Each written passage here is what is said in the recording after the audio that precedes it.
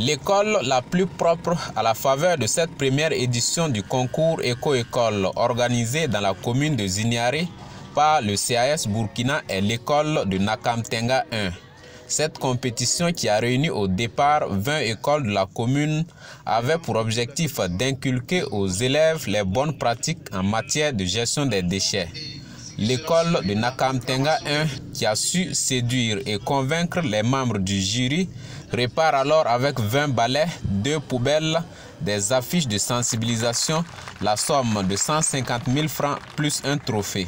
Nous sommes très ravis de ce prix euh, parce que ce prix viendra encore galvaniser euh, notre école et c'est une motivation pour les parents parce que quand on lançait le concours, les parents étaient réticents. Mais vu en tout cas ce merveilleux prix, ça va les amener à s'impliquer davantage pour la vie scolaire.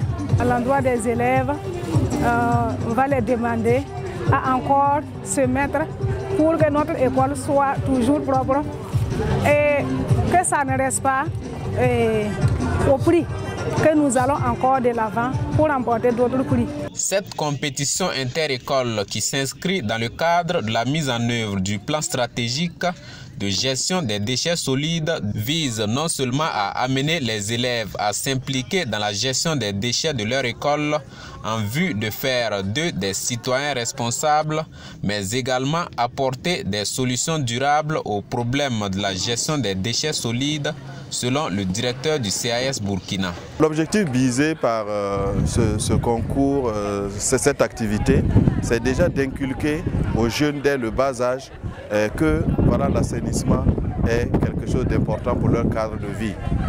si bien que voilà, ils doivent pouvoir s'investir à l'intérieur. Donc, pourquoi dans les écoles? Parce que les élèves sont vraiment ceux-là qui vont dans dans le futur, être les responsables du développement et de la gestion, même aussi bien des pouvoirs que des collectivités de notre pays. Et si on commence à les enseigner dès le départ, c'est une très bonne chose. Le concours Éco-École est donc une saine émulation entre les écoles de la commune de Zignari autour des questions environnementales de façon générale et plus spécifiquement de la gestion des déchets en vue de créer un cadre de vie sain.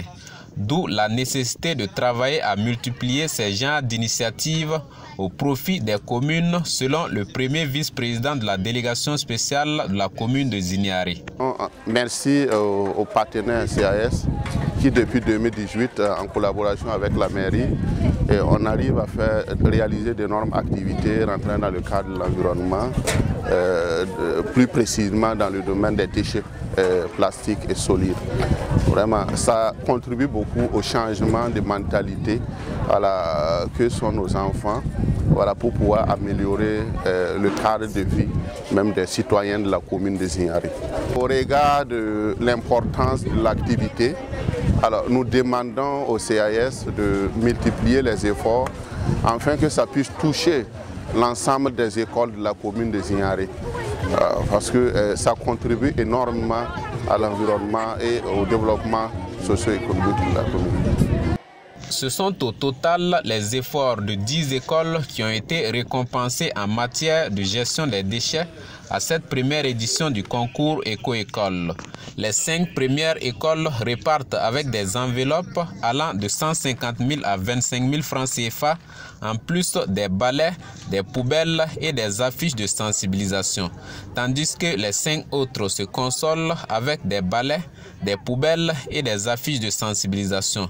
Les 10 écoles qui ont été récompensées à ce concours éco-école du CAS Burkina ont par ailleurs bénéficié de l'installation de clubs d'assainissement composés de 6 membres chacun, dont 3 filles, 3 garçons.